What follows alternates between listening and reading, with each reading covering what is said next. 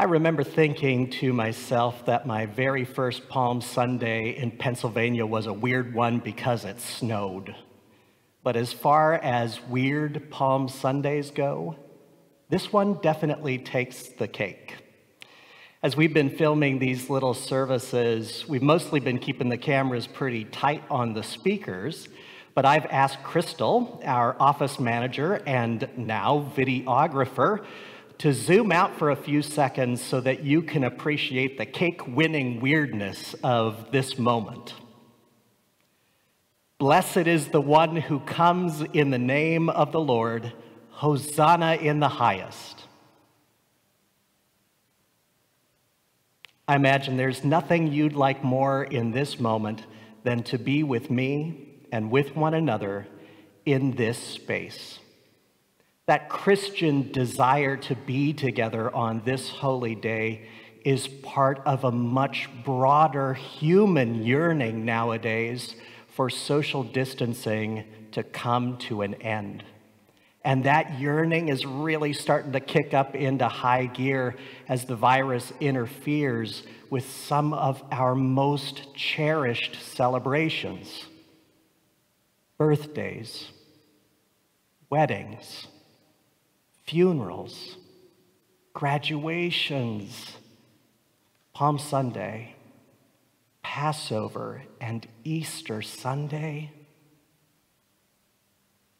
Our desire to be together for this Holy Week, our yearning to be able to come together again and celebrate something, along with every other expression of our anxiety and grief all of that is added to the cries of the first Palm Sunday's crowds.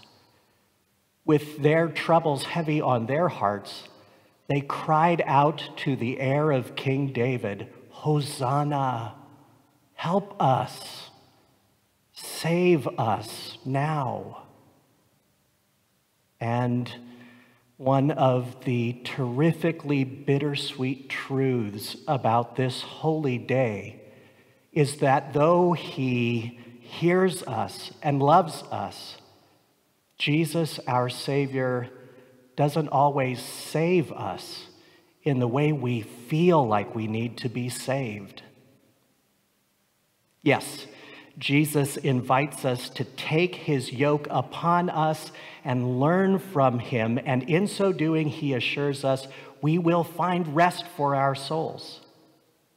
Yes, Jesus promised to be with us always to the very end while we are sharing his good news with the world and teaching the world his way.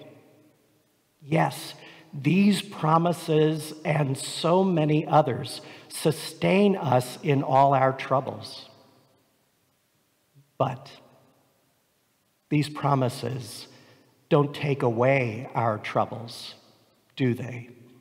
You already know that. Sometimes the answer to our prayer is not yet, not in that way. No.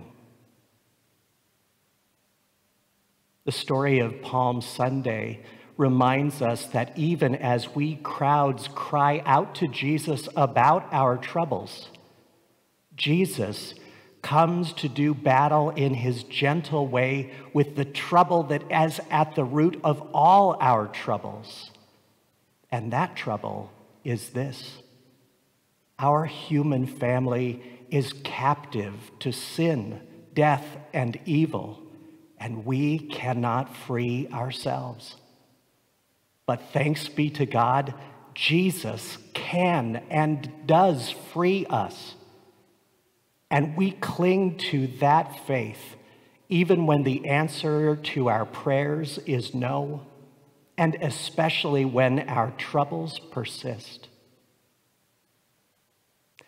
This is definitely a weird Palm Sunday. There's no doubt about it.